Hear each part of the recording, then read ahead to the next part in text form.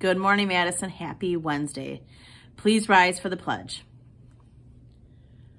I pledge allegiance to the flag of the United States of America and to the republic for which it stands, one nation, under God, indivisible, with liberty and justice for all.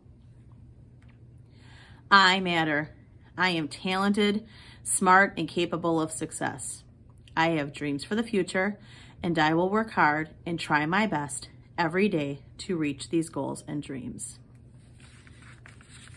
We have a birthday this morning at Madison. Happy birthday this morning to Milo Reeves. We hope that you have a great birthday today.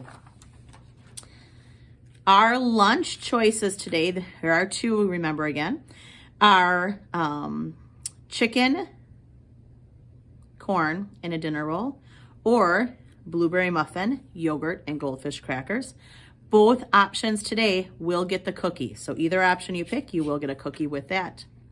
Tomorrow's options are pepperoni pizza or chicken and cheese quesadilla. Our fresh fruit and veggie snack as well today.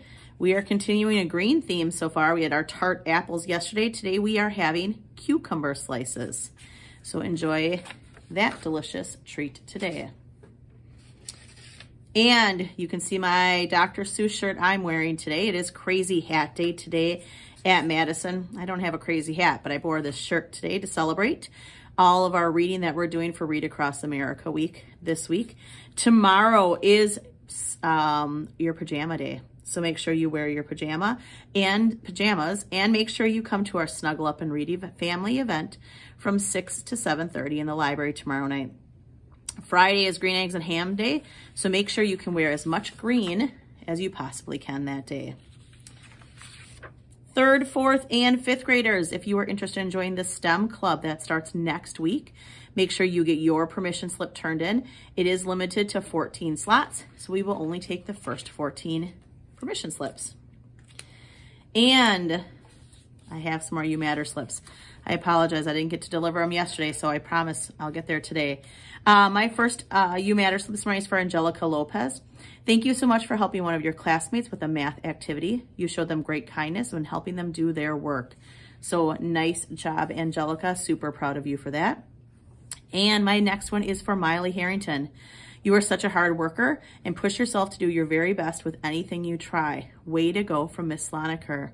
So way to show that perseverance, Miley. Great You Matter slip for me to read this morning. Also, make sure you check out when you come down to lunch today to see how your grade level is doing with our lunchroom challenge in March. Are you walking in the lunchroom at all times?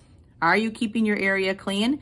And is your line quiet with hands to self? So check to see, did you get zero, one, two, or three points yesterday? And how will your grade level do today? That's all I have today, Madison. Have a wonderful Wednesday. Remember to work hard, be kind, and remember to be respectful, responsible, and safe.